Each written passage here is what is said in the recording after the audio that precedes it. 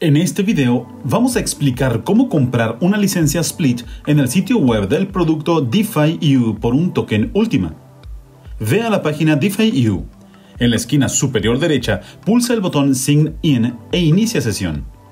Se abrirá un panel de control. Al desplazarse por la página hacia abajo, en el apartado Split Licenses, verás una lista de licencias que se pueden comprar. Elige la licencia que necesitas y pulsa el botón Purchase comprar, se abrirá una ventana donde se te pedirá que escojas un método de pago.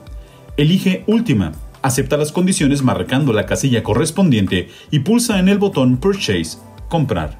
En la ventana desplegada aparecerá el importe en última y la dirección del monedero al que es necesario transferir el importe indicado. La dirección también estará disponible como código QR para realizar la transacción desde la aplicación móvil. Para efectuar el pago, envía el importe necesario al monedero indicado. Por favor, envía el importe exacto tal y como aparece en la pantalla. Espera la notificación de pago. Ahora es necesario activar la licencia. Ahora es necesario activar la licencia. Para hacerlo, ve a la sección del menú My Licenses. Busca la licencia comprada y pulsa en el botón Activate.